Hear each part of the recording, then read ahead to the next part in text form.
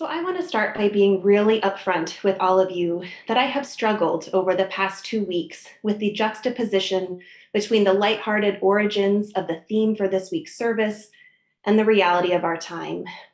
I mean, in the reading, Tina Fey is joking about melting wax figures, and it just doesn't feel like a melting wax figures kind of time. However, as I've continued my reflections this week, it's clear to me that the principles outlined in our reading say yes, own our responsibility to contribute, or yes and, and make statements. These offer important tools for us as we do the internal and external work needed to fight to advance racial justice and equity. And we can always use a little joy and levity, especially in heavy times. So let me start with a little bit of background on how I got to yes and. I'm a bit of an unlikely messenger, as I had never taken an improv class before I settled on this topic, and I haven't acted since I was a chorus member in my middle school's plays. Several years ago, a therapist gave me the gift of yes and as a tool that has been transformational in my relationships and has opened up my ways of thinking.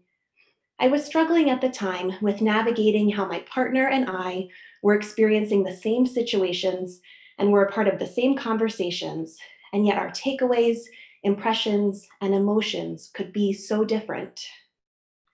What I came to realize is that we each hold our own truths, and the existence of my truth does not preclude the existence of another person's truth. They can and they must coexist. Yes, I hear and honor your truth, and here is mine. They can coexist. In realizing and appreciating that, we can find ways to build bridges. Now, as with everything, our words matter. Just using the word but when presenting an alternate view on a subject can have the effect of shutting down and invalidating the other person. Saying and opens up opportunities for mutual understanding.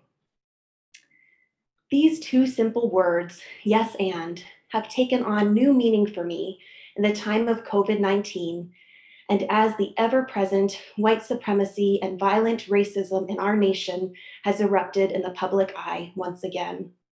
I want to explore both with you today.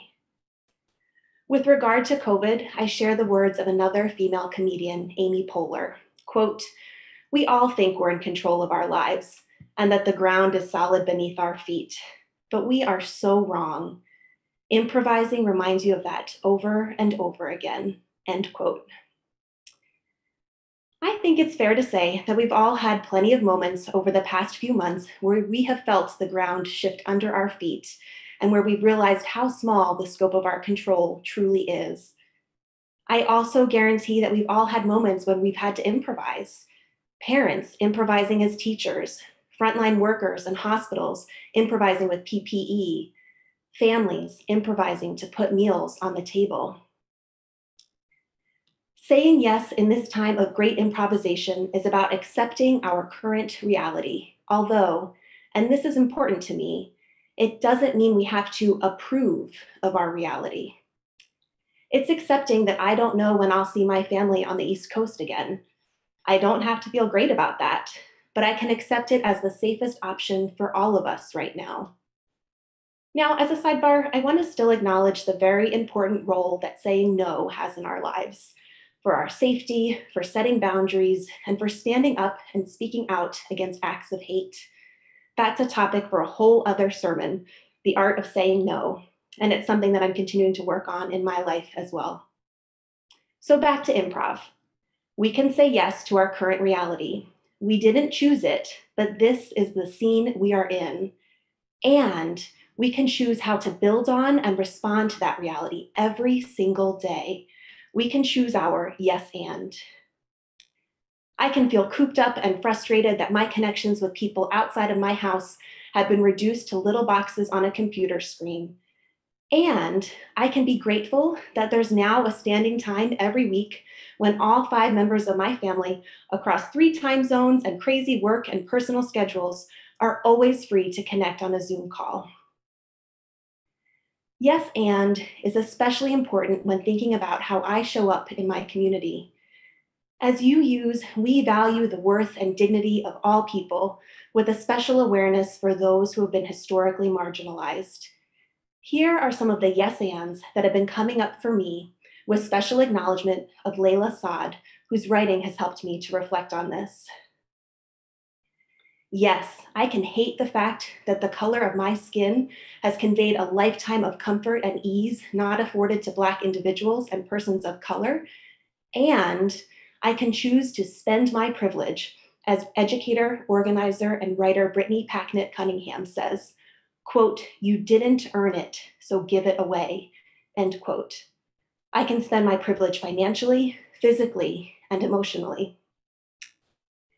Yes, I can feel a full spectrum of emotions ranging from rage to grief, and I can find ways to process those emotions in a way and a place that does not burden my Black friends, colleagues, and community members.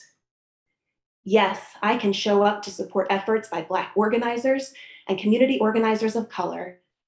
And I can recognize that I need to take responsibility for doing my own internal work. Yes, I can falter and learn along the way, and I must keep going. We need to figure this out. So I mentioned earlier that I hadn't taken an improv class before setting down the path of this sermon. With the continued gift and curse of more time at home and more aspects of our life moving online, I signed up for an improv course through Second City, one of the more famous improv troupes based out of Chicago. It has been terrifying and exhilarating and a bright spot in my weeks to be goofy with a bunch of strangers and to push myself outside of my comfort zone. To be honest, it's been really nice to laugh and smile. Our instructor has explained to us that one of the great gifts of improv is our sense of connection and mutual support, that others will say yes to our ideas and build on them. There is also so much joy in remembering how to play again.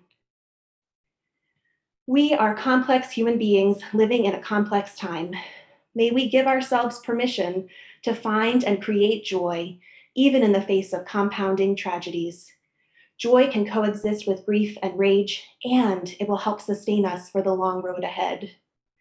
As we improvise new ways of connection during this time of isolation, May we find new opportunities to lift one another up, to say yes to and elevate each other's ideas, and find ways we can contribute.